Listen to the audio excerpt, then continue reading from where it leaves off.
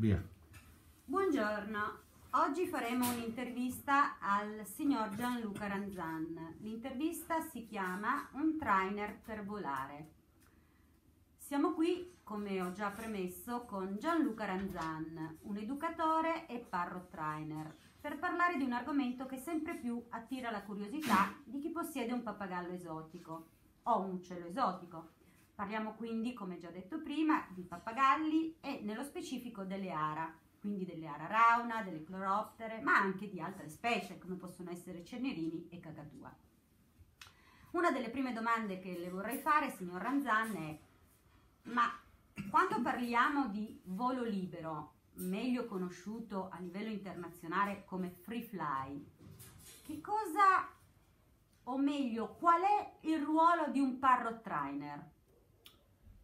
Il parrot trainer deve necessariamente essere quella persona, quel professionista che insegna la comunicazione al proprietario che per me è un compagno umano al proprio pappagallo. Pertanto il trainer, l'educatore è quella persona che dà gli strumenti comunicativi corretti al proprietario per comunicare, per rendere il quotidiano facile, bello, gioioso nel rapportarsi correttamente con il proprio animale. Qualche attimo fa ho detto eh, volutamente compagno, uma, eh, compagno eh, di viaggio, perché per quanto mi riguarda il, l'animale pet, che sia cane, ma tanto più nel caso di un pappagallo che vive per molti anni con noi, non può essere che eh, un uh, compagno di viaggio, appunto. Pertanto, eh, mettere in comunicazione due eh, esseri viventi altamente sociali come l'umano con il pappagallo è molto importante la comunicazione corretta, che necessariamente è diversa, ma pur sempre molto importante. Un'altra domanda che le vorremmo fare, perché spesso e volentieri non tutti sono eh, consapevoli quando acquistano un pappagallo di che cosa stanno acquistando, è cosa vuol dire gestire un pappagallo? O meglio, come gestire al meglio un pappagallo? È una domanda molto articolata perché eh, la, la, gestione corretta di un pappagallo può essere per l'aspetto comportamentale e quindi per l'aspetto educativo, interagire correttamente nel quotidiano, quindi l'entrata e l'uscita dalla gabbia, piuttosto che l'aspetto sociale con tutte le persone della famiglia, che ricordiamoci sempre per il pappagallo, noi siamo il, il suo stormo Altro ancora è l'aspetto alimentare, quindi la corretta alimentazione. Pertanto sono più, uh, più percorsi che eh, sarebbe importante conoscere per una corretta gestione del pappagallo all'interno delle nostre case. Quindi queste possono essere già due problematiche, la gestione del pappagallo e l'alimentazione corretta del pappagallo, con le quali un proprietario di pappagallo può rivolgersi a un parro trainer o un comportamentista. Certo, certamente sì, certo. Anche se eh, personalmente ritengo che molto spesso le problematiche comportamentali che eh, noi tende- eh, dobbiamo molto spesso incorrere con, con i nostri pappagalli spesso provengono da una cattiva alimentazione. Ecco, passiamo ora a parlare di free fly o volo libero, meglio conosciuto in Italia con la parola di volo libero. Oggi tutti a livello di web, mh, mm, soprattutto per quanto riguarda il discorso di, eh, degli affezionados, quindi dei vari gruppi social di cui eh, soprattutto Facebook è pieno, eh, sono incantati, innamorati nel vedere questi meravigliosi uccelli che volano. Ma eh, se io venissi da lei, signor Ranzan, e le facessi questa domanda, posso far volare il mio pappagallo libero nel cielo? Lei cosa mi risponde? Se eh, ricevessi una telefonata di questo genere direi vediamoci, facciamoci una chiacchierata, perché in realtà se tutti i pappagalli possono volare e tecnicamente tutti i pappagalli possono volare in quello che si dice open space all'aperto, non tutti i pappagalli in realtà possono eh, essere addestrati, ribadisco, addestrati al volo libero e soprattutto non tutti i compagni umani possono eh, vivere l'emozione di vedere il proprio pappagallo volare mh, mm, all'aperto in open space appunto eh, nei cieli. Quindi da quello che lei mi sta dicendo si evince che non tutti i proprietari di uccelli possono far volare i loro compagni. Certamente sì, ha capito benissimo, perché non tutti i proprietari hanno il, la pacatezza, il sangue freddo di riuscire a gestire le proprie emozioni. Ricordiamoci che vedere una, il proprio compagno di viaggio, il proprio pappagallo, eh, soprattutto nei primi voli, non è semplicissimo e gestire le emozioni dei primi voli, che c'è sempre l'ansia che il pappagallo si possa allontanare, è, è abbastanza forte. Quindi possono esserci dei rischi nel volo libero. Certamente sì, ci sono. Me ne vuole parlare? Ci sono e nessun trainer potrà eh, dare la certezza matematica che non ci siano o che il pappagallo non ritorni.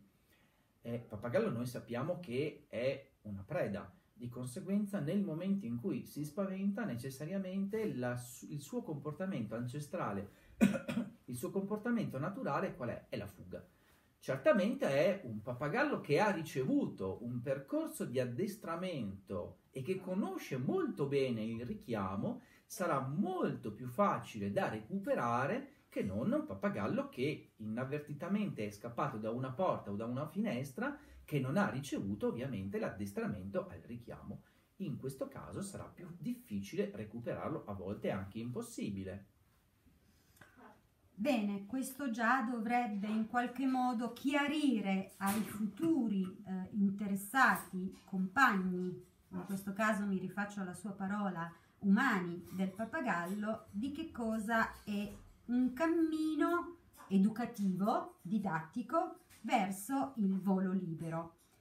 Ma torniamo a parlare di uccelli, quindi di pappagalli, perché a noi ci preme molto eh, riuscire a far capire che uno degli obiettivi principali dell'associazione il pappagalli in volo che lei rappresenta è la tutela del pappagallo, certo. degli animali in genere, perché non ci fermiamo solo al pappagallo, ma nello specifico proprio i pappagalli. Ed essendo anche eh, una delle voci di cui ne parlavamo prima nel fuori onda, molto importante, eh, di cui si occupa l'associazione e quindi eh, la tutela non solo del pappagallo in sé, ma la diffusione e eh, l'informazione sull'importanza del volo, ed è questo anche che ha fatto nascere l'associazione Pappagalli in Volo, mi viene eh, da farle spontanea una domanda, ma per lei che è un trainer e che lavora con i pappagalli da 20 anni, quanto è importante per un uccello nato in cattività volare? Importantissimo, noi uh, potremmo discuterne per ore, forse non ci basterebbe mezza giornata discutere l'importanza del, del volo per un pappagallo, potremmo discuterne per l'aspetto muscolare, potremmo discuterne per l'aspetto proprio psicologico dell'animale, ma ricordiamoci che molto spesso non viene considerato il fatto che il pappagallo è nato con le ali Pertanto eh, il, uh, è un comportamento naturale per il pappagallo. Per questo è importante anche un pappagallo nato in cattività, il volo è un modo di spostarsi naturale. Prima abbiamo parlato delle controindicazioni del volo libero. Per arrivare ovviamente ad avere degli ottimi risultati, io compagno umano a monte devo capire bene alcuni passaggi che non sono solo ovviamente la costanza, l'impegno, la perseveranza e eh, tutto quello che tramite i suoi corsi, che ricordiamo avvengono su una piattaforma Skype o live, quindi presso la sua sede eh, Papagalli in volo o lei personalmente a casa dei, dei compagni umani, eh, dicevo, è importante che eh, il compagno umano capisca bene che cosa significa educare e che cosa significa addestrare. Ci vuole brevemente chiarire questi due concetti? L'addestramento per me, anzi, l'educazione per me è quel percorso base che tutti i papagalli dovrebbero, dovrebbero ricevere, non fare ricevere, ed è quel percorso in cui io insegno al mio amico l'entrata, l'uscita dalla gabbia, il salire o lo scendere dalla mano l'aspetto sociale anche proprio per tutto lo stormo e quindi il vivere in un modo paritario ma felice, sereno, costruttivo. Il percorso invece di addestramento è un qualcosa molto più uh, ristretto, con dei confini molto più ristretti in cui io necessariamente ho la necessità di un background, di un ritorno del comportamento che chiedo all'animale. Perché? Perché nel momento in cui io faccio del free fly, del volo libero in esterno, ho necessariamente la uh, necessità di avere un pappagallo con delle risposte veloci, quindi una grossa motivazione in questo caso al comportamento del volo e soprattutto una grossa motivazione al ritorno verso di me. Come si ottiene? Attraverso un, eh, un grande rapporto di feeling e di fiducia del pappagallo nei confronti del compagno umano. Quindi nel momento stesso in cui io prendo un pappagallo, io in questo caso rappresento la voce di tante persone che vorrebbero farle delle domande e non è il mio caso, ma uh, nel momento, ripeto, in cui io, uh, ipotetico futuro compagno umano di un pappagallo, innamorata di tutti questi meravigliosi video che si vedono uh, su internet o anche di quelli che lei quotidianamente posta, e, e che oggi in Italia è, è l'unico mm, come parrot trainer a fare visualizzare e, e, questo mi viene da dire chapeau perché mh, mm, ci mette la cosiddetta faccia ovviamente. Eh, la domanda che mi faccio è, ma guardando questi video e seguendo uh, un po' qui e un po' là le cosiddette um, io ho fatto così, io ho fatto cos'ha, ma io posso da sola arrivare a far volare il mio pappagallo? La risposta è ni, nel senso che ci vuole molta esperienza, cioè io uh, posso prendermi il mio pappagallo e se ho molta fortuna mi faccio un mio percorso personale, detto percorso fai da te, e se sono fortunato che ho un pappagallo con un'altissima ricezione, magari mi può andare bene.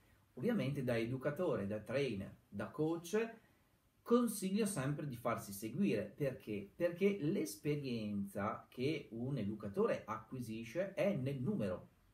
Quindi vuol dire che se io mi prendo un, in carico il pappagallo e il suo compagno umano in un percorso di addestramento al volo libero, ho eh, dalla mia la grossa esperienza numerica in cui dire ok, questo pappagallo qua, vedendo quanto è portato a volare, facciamo questo percorso educativo e attraverso una serie di esercizi che noi insegniamo al pappagallo a volare, riuscirò a capire come professionista quando è il momento giusto, quando il pappagallo è pronto, quando il pappagallo è sufficientemente demotivato per essere sganciato, quindi tolta la pettorina e provare a far volare il pappagallo completamente libero. Tenete presente che è molto importante questo passaggio perché fin tanto che io faccio volare il mio pappagallo con un cordino, con la pettorina, ho la certezza che il pappagallo non mi scappi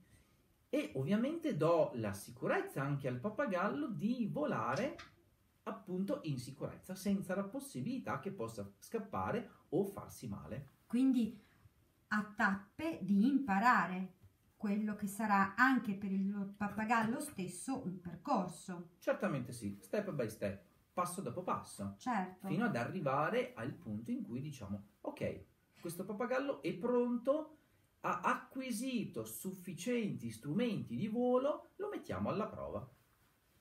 Quindi tutto quello che noi vediamo dal punto di vista eh, tecnologico, utilizzando i social, eh, vedendo YouTube, vedendo anche alcuni soggetti, diciamo così, fai da te, dobbiamo guardarli sempre con le dovute distanze, anche perché eh, le tecniche per insegnare il volo libero sicuramente o free fly sono sicuramente molto molto diverse da quelle che un uh, improvvisato uh, trainer fai da te può in qualche modo un po' magari per fortuna o così insomma perché le è capitato un animale particolarmente mansueto è riuscito ad ottenere ma vi sono poi eh, visionando e visualizzando e di questo la ringrazio perché lei eh, prima eh, fuori onda ci ha fatto visualizzare dei filmati in cui palesava